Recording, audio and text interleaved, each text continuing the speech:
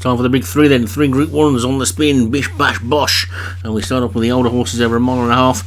It's the Group 1 Coronation Cup. And at the top we've got Funny Ben for David Hooley. King's Hall, Leon Van Rensburg. Unbeaten Own Reflection for Craig Allen. San Jose Brilliance Vinnie Gerard. The Grey Gatsby, Dan Hughes. Time to Shine, Craig Beckwith.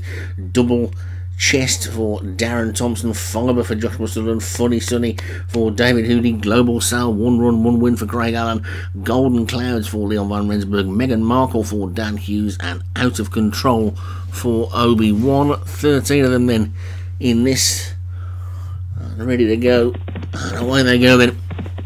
A little bit slow to go was Funny Ben, but nothing to be concerned over. They sort themselves out. San Jose Brilliance looks like it's going to be the one that's going to go on and take the lead, and it does so. It leads quickly by three. They've gone over to that rail and quickly now pulling away with a four-length lead then from the slow starting Funny Ben, who's moved into second. Stablemate Funny Sunny closes to us in third. Then Golden Clouds and also Global Sail is up there as well. King's Hall's not too far away, looking towards the back. Time to shine is just the back marker, but it's San Jose Brilliance that's got the lead by about three or four lengths to Funny Ben in the purple jacket second. The white sleeves on the rail of Double Chest. The next Golden Clouds is after that one. Funny Sunny and King's Hall are also there as well. So too Global Sail.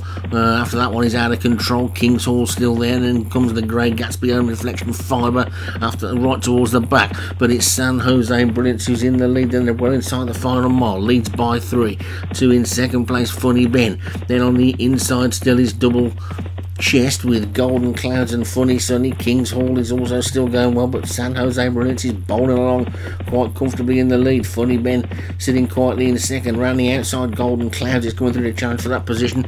Global Sail is still there as well. Then comes Funny Sunny, King's Hall, and out of control trying against it. Meghan Markle's got work to do, so is the Grey Gatsby. Own Reflection and Fibre are out the back, but it's San Jose Brilliance from Global Sail in second. Funny Ben is third, then Golden Chest, Golden Clouds also trying to get going. Funny Sunny, widest on the track on the inside. That one is out of control. But it's now Global Sail that's gone on. San Jose Brilliance, though, fights back on the turn. They're past the four.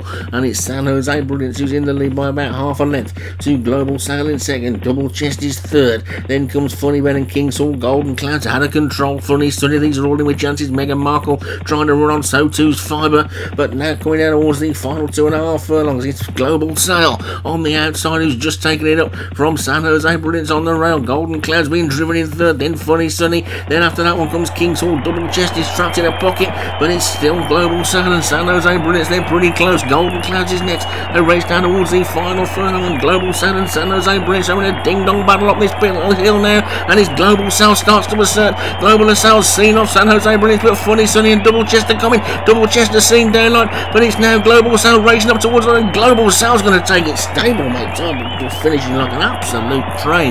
Own reflection, but it's a win for Global Sail, who mm, had a ding dong battle all the way up the straight with Vinnie Gerard's horse and saw that one off, and then they were queuing up to take him on, but Global Sail's taking it for Greg, and it's a 1 2 for him.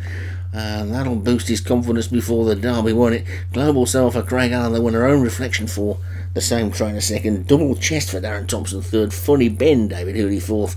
And time to shine for Craig Beckwith was fifth.